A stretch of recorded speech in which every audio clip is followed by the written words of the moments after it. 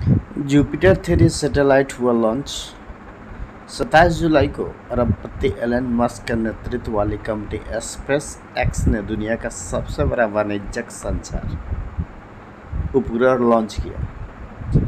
इस सैटेलाइट को नाम दिया गया है जुपिटर थ्री यह फाल्कन हैवी रॉकेट के ज़रिए फ्लोरिडा में नासा के कैनेडी स्पेस सेंटर से लॉन्च किया गया। यह ट्रिपल बूस्टर रॉकेट के लिए स्पेस एक्स का सातवां प्रक्षेपण।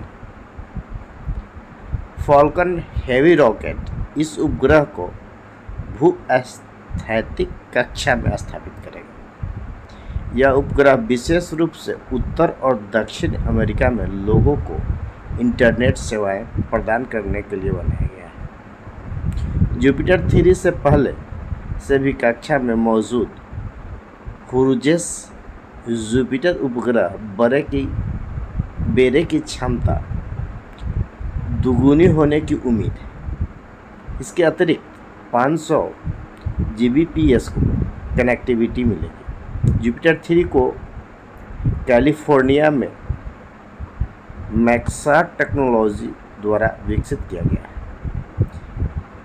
यह इन फ़्लाइट वर्ड फ्राई जैसी सेवाओं का समर्थन करेगा और अन्य वायरलेस तकनीकी के साथ निजी वाईफाई उपयोग को बढ़ावा देगा। जुपिटर थ्री उन्नत तकनीकी विशेषताओं और क्षमताओं से लैस है।